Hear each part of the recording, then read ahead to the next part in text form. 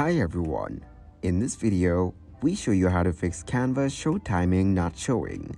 The show timing option may be missing on your Canva, and this could be attributed to one of two primary reasons. Firstly, ensure that you have initiated a video project.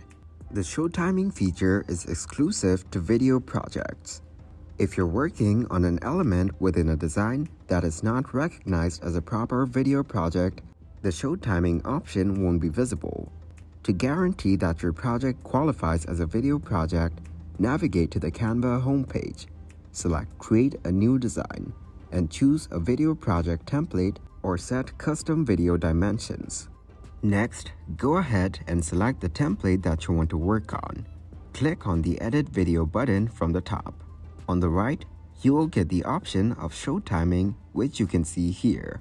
Secondly, if you've customized the dimensions of your project either during creation or afterward, the Show Timing option might not be available.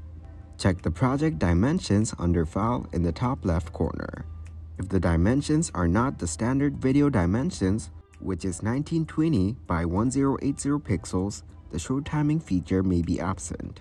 Additionally, resizing a video project after its creation, particularly for Canva Pro users, can lead to the loss of the show timing option. It's important to note that Canva Pro users have the flexibility to resize projects after creation, but this may affect the availability of the show timing feature. For Canva free users, resizing projects after creation is not an option. In summary, the two main reasons for the show timing feature not appearing are not selecting a video project template or customizing dimensions beyond the standard video dimensions. Ensure that you choose a video template when creating your project and stick to the standard video dimensions to access the show timing option. Thanks everybody for watching. Make sure to like this video and subscribe to the channel for more tutorials. Goodbye.